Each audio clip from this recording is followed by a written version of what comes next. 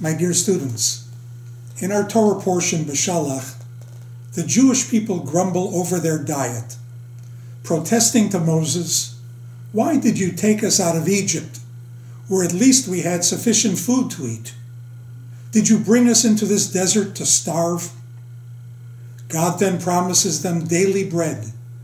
Behold, I shall rain down for you food from heaven, so that I can test them if we could go out on our doorsteps every morning and pick up heavenly bread, what kind of test is that? Our sustenance would be handed to us on a silver platter through no effort of our own. We would gladly take that test anytime and pass with flying colors. The commentator Sforno teaches that God presents the people with the test of affluence, in effect saying, how will you respond to having it good? What will you do with your abundance?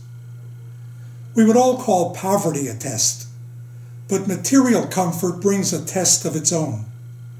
God is saying, When my people have so much, I will see then if they keep my Torah.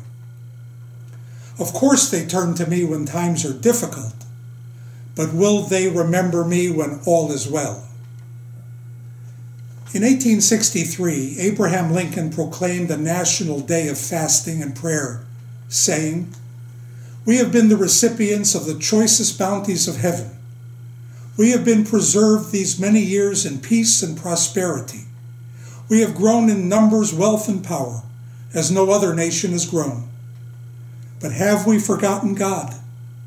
Intoxicated with unbroken success, we have become too proud to pray to the God that made us. We are quick to think of God when we are threatened. Let us be equally quick to think of God when we have been so blessed. Shabbat Shalom.